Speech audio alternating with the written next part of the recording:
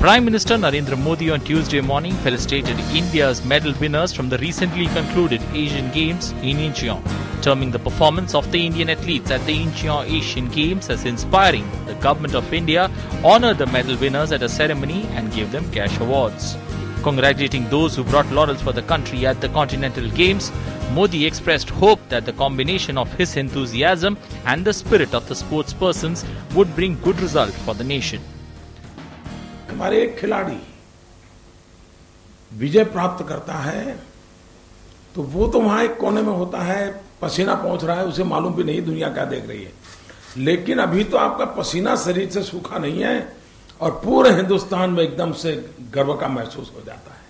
सबको आनंद होता है, वाह, चलिए कुछ करके दिखाया इतना इलेक्ट्रीफाइंग इफ़ेक्ट होता है इन चीज़ों का। और ऐसी चीज़ें जब निरंतर बनती हैं तो हर पीढ़ी के लिए वो प्रेरणा का कारण बन जाती है।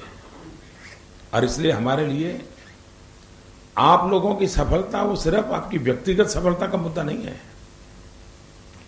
ये हर भारतवासी के हृदय में एक आत्मगौरव पैदा करता है, आपका प्रयास, सम्मान पैदा करता है।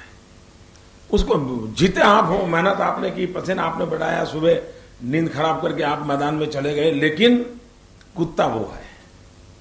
और वही आपकी सफलता है The Prime Minister urged the assembled sportspersons to feel free to give their suggestions to him and to call on him personally if they had anything specific to talk about. The gold medal winners were given checks of rupees 20 lakh each, while the silver and bronze medalists got 10 and 6 lakh each respectively. Sports Minister Sarbananda Sonowal promised more support to the athletes for their future training and added that Prime Minister Narendra Modi was taking a keen interest in the development of sports in the country.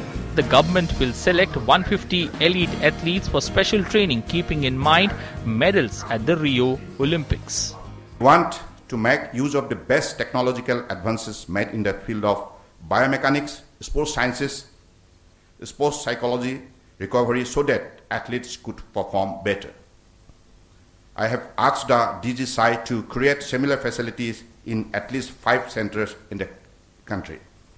Let me assure you that the government of India will leave no stone unturned to ensure the best ever facilities for our sports persons. The Prime Minister praised the corporate world interest in promoting specific sports. He urged award winning sportspersons to deliver talks in universities to inspire the youth.